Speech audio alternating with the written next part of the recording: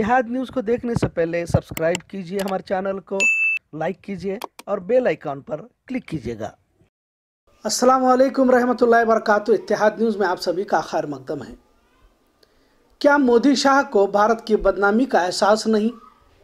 यही आज का सवाल है।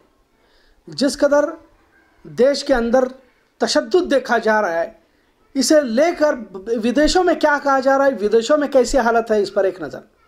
जब से मोदी सरकार इकतदार पजीर हुई है, तब किसी न किसी तरीके से विदेश में बदनामी जारी है। कई किस्से रोज़ मंजर आम पर आ रहे हैं।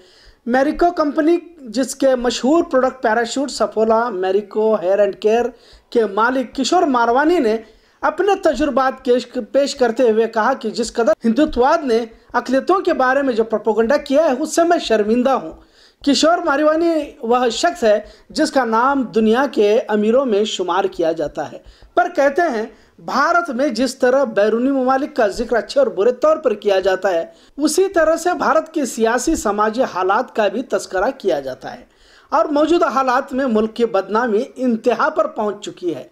मोदी दुनिया भर में गश्त करके सब कुछ ठीक है तो कहते हैं और नारे भी लगाते हैं, पर जिन भारतीयों को बैरूनी ममालिक में मुल्क को लेकर सुनने में आ रहा है, शर्मिंदगी महसूस कर रहे हैं।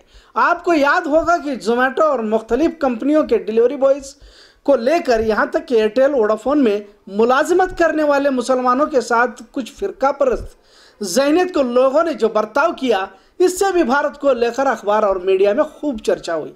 जब किशोर मालवानी थाईलैंड के पाँच सितारा होटल में गए तो होटल के मैनेजर ने कहा कि हमारे यहाँ सिर्फ़ मुसलमान स्कीपर है। तब किशोर मारीवाला ने ताज्जुब से देखा, इन्हें कुछ समझ में नहीं आया। उन्होंने होटल मैनेजर से पूछा, आप ऐसा क्यों कह रहे इस पर होटल मैनेजर ने कहा कि हम आए दिन अखबार में न्यूज़ में पढ़ते रहते हैं कि भारत की हिंदू आवाम मुसलमानों को अपने साथ रखना नहीं चाहती, इन्हें मारा भी जा रहा है, इसके लिए पूछा।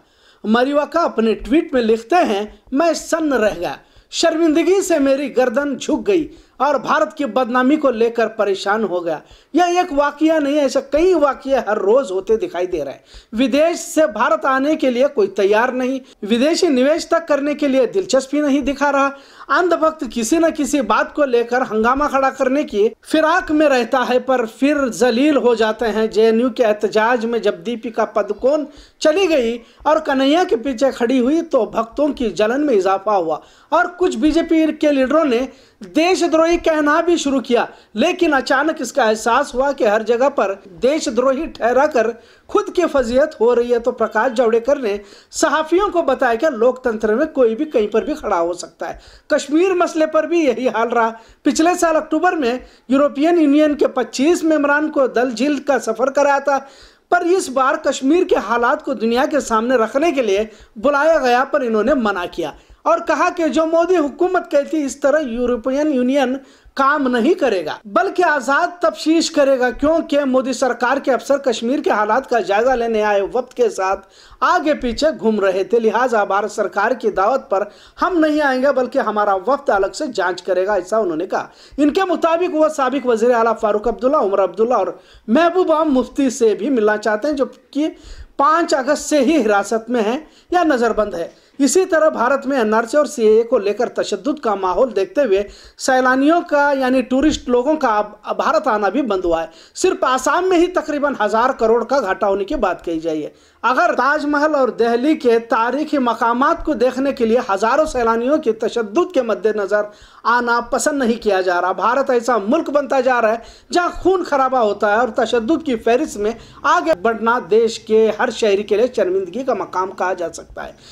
विदेशों में रहने वाले भारतीयों को शर्मिंदगी का एहसास, शिद्दत से महसूस हो रहा है, पर देश के मोदी शाह को हो नहीं रहा। यह देश की बदकिस्मती कह सकते हैं, जब इस कानून को लेकर पूरा देश जल रहा है, अवाम में गुस्सा है, फिर ऐसे देश को जलाने की जिद आखिर हमारे इकतदार पर फाइज हुक्मरानों को क्यों है, समझ में नहीं आता। इतना ज़रूर कह सकते हैं, देश की बदनामी इंतहा पर है, भले ही अंधभक्ति से माने या ना माने। इतिहाद न्यूज़ देखने के लिए शुक्रिया, अल्लाह हाफिज़।